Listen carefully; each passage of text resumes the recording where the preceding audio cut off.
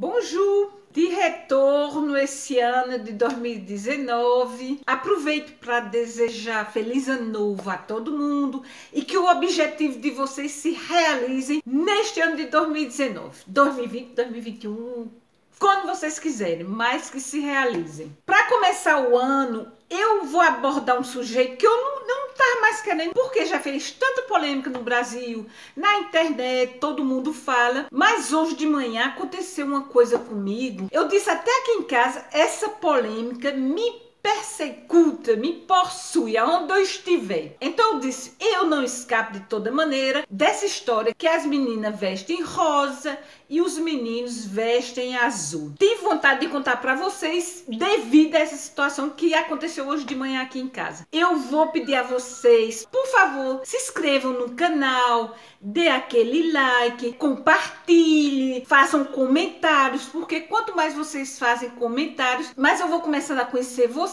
E é super simpático porque eu já entrei em contato com várias pessoas, as pessoas me consultam, as pessoas me fazem questão sobre a França, eu respondo respondo, às vezes elas me pedem algum favor de tradução, essas coisas, porque é uma maneira de passar um pouco meu tempo e também de ajudar as pessoas que estão precisando. Então, pronto. Se inscrevam, o objetivo esse ano é desenvolver esse canal, porque tá meio paradão, gente, tá paradão a história. Então vamos ajudar a desenvolver esse canal e aproveitar o que a internet pode nos dar de bom, né? Aproveite porque vocês aprendem um bocado de coisa neste canal. Vamos lá, vamos começar o tema do róseo e do azul.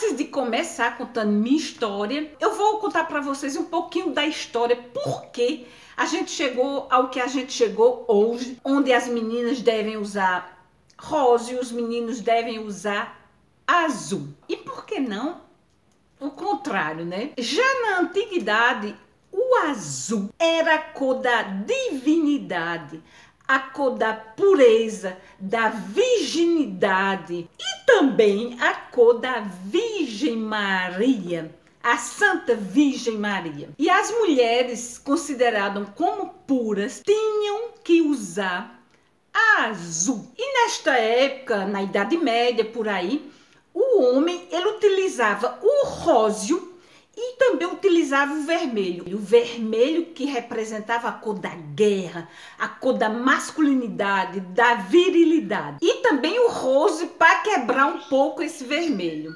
Enquanto que as mulheres utilizavam nessa época o azul. E foi somente no século das luzes, no século de Lumière, que os homens começaram a utilizar o azul e as crianças utilizavam o branco. Toda criança utilizava branco. Quando as mães é, começavam a preparar o enxoval da criança, era sistematicamente branco. Foi somente na época da princesa de Mônaco, a, a atriz americana Grace Kelly, que adorava, ela adorava o rosa. Então o que é que aconteceu? Ela teve uma filha, a famosa Stephanie de Monaco e a princesa Grace Kelly, ela vestia Stephanie somente em róseo.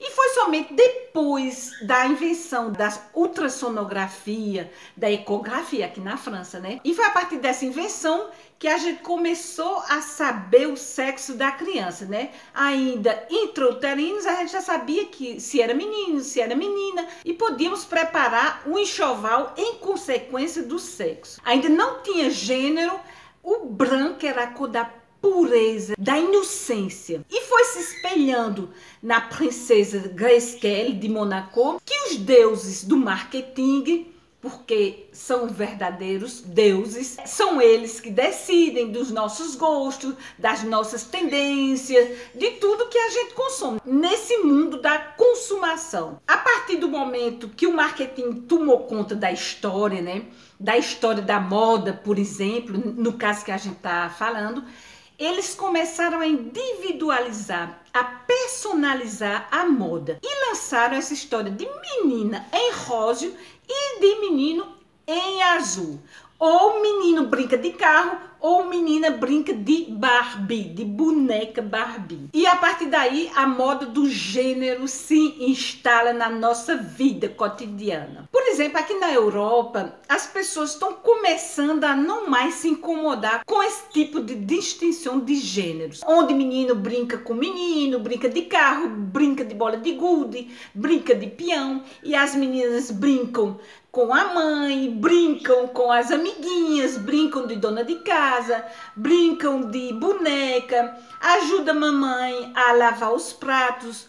E por isso que hoje na Islândia, e está começando a se instalar também aqui na França, Hoje na Islândia tem escolas exclusivamente com esse tipo de educação, aonde as crianças saem completamente desse esquema, né, de gênero e as meninas, por exemplo, elas aprendem a serem fortes. Elas fazem exercício de menino, elas fazem prova de força, elas aprendem a se livrar, elas aprendem a lutar.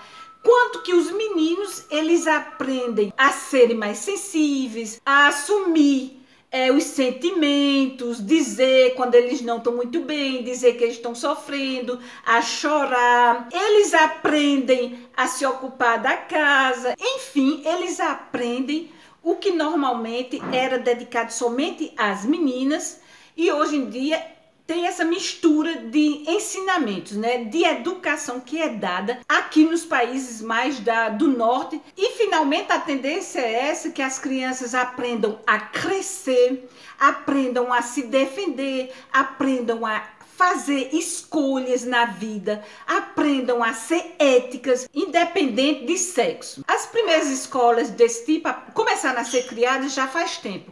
E hoje em dia eles fizeram uma pesquisa com as crianças que cresceram nesse tipo de escola e hoje já adolescentes quase adultas, elas falam desse tipo de escola e plebiscita esse tipo de ensino para todas as crianças. As meninas entrevistadas dizem que hoje em dia elas se sentem muito mais afirmadas, que sabem se defender, se posicionar na sociedade e terem suas próprias ideias. E os meninos exatamente a mesma coisa, né? Ninguém deixou de ser homem, ninguém deixou de mulher. Os meninos também têm a mesma percepção desse tipo de ensino. Eu tenho uma amiga minha, por exemplo, aqui na França, que de, deixava o menino dela, quando ele era novinho, na casa da nourrice. A nourrice é a babá, né? Aqui tem esse sistema de babá que fica em casa acolhendo as crianças. E tem uma das minhas amigas que um dia deixou a, o guri dela na casa da, da nourrice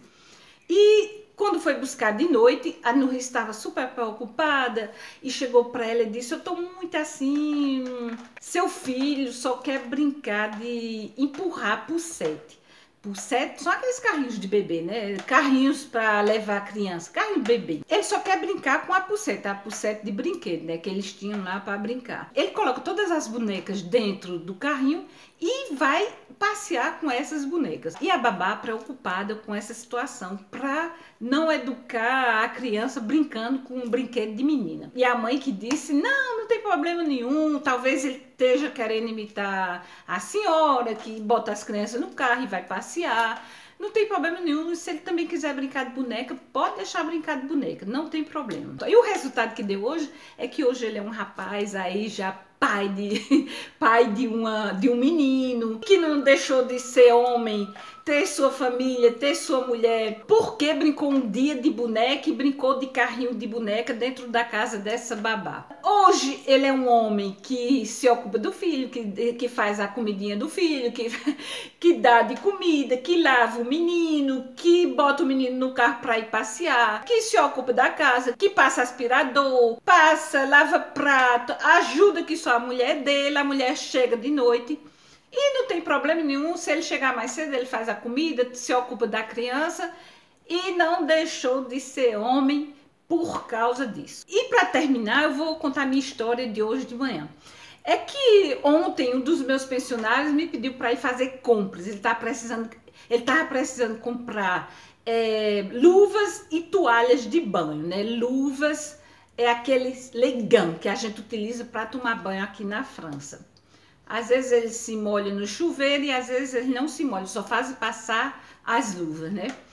E ontem tarde eu fui comprar as luvas com ele, fui comprar as toalhas, ele comprou o que ele quis. Eu fui do meu lado, ele foi do lado dele, ele comprou o que ele quis. E hoje de manhã, ele chega de manhãzinha aqui, Magnólia, Magnólia gritando por todo canto. E eu disse: O que é que se passa? O mundo tá caindo. e ele chega com duas luvas, uma róseo e uma azul. Me deu de presente essas duas luvinhas de banho. Eu não utilizo essas luvas porque eu utilizo aquelas buchas que eu trago do Brasil, né? Que decapa a, a pele, mas eu só gosto de tomar banho com essa, essas buchinhas naturais que eu trago do Brasil. Como por coincidência, não sai da minha história desde uma semana essa história de azul e rosa, rosa e azul. Então pronto, eu dou de presente. Quem quer as luvas? Rosa e azul. Quem quiser pode vir buscar. Pode me mandar uma mensagem. Pronto, vou ficando por aqui. Não esqueçam de se inscreverem, de compartilhar, dar aquele like. E se vocês tiverem algum tema de predileção, que seja em referência com a França ou não, deem as ordens, eu estou aqui para responder, tá certo? Pronto, vou ficando por aqui com minhas luvas rosa e azul. E tô voltando depois. Tchau!